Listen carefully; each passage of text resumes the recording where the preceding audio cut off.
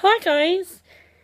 So here I am, yes. I have my hair done today, so it looks really black on the video, but it's actually called chocolate brown, and I love it. So, yeah. I just wanted to say that I haven't been vlogging too much this year because I've maybe I've been sick and I just couldn't be asked to vlog basically because I've been too sick and I'm not really doing anything. But I am promising you tomorrow there shall be a vlog because I'm I might daily vlog, I am not sure yet, like I said in the last video of my vlogmas that I might vlog, I might not vlog, but who says?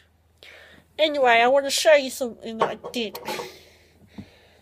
You know you get the J2O bottles you can have. Well, I have used permanent marker on them. So that's one design. I'm not sure. They're just designs that I wanted to have in my room. This one I this was my first design that I did. Might look backwards, but it says Dan and Phil in the YouTube. Then TATINOF and TABINOF. Then the whiskers. And then these other two are just um are just simple designs I did on the bottle on the top. I forgot to do that one, which I will do. and this other one, I just followed the design of I just followed the design of the, the bottle. So, yeah. I have my computer working now. Just a little... Get this me and my dad went to PC World in um, Wolverhampton. And yeah, just put my laptop in, said that the computer wasn't working.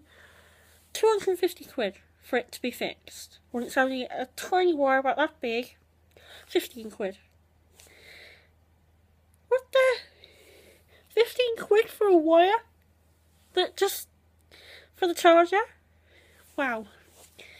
So, anyway, and I've been reading the former Harry Potter. I finished last night, for God's sake, I finished Prisoner of Azkaban, which was amazing. I am on Goblet of Fire.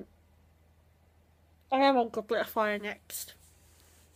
Which I won't be reading because I've got a lot of studying to do, and yes, I have been studying. just musicals. Yeah, just musicals. Because of next year, because I'm going to be doing performing arts. And I decided to make it a longer video because I just wanted to be.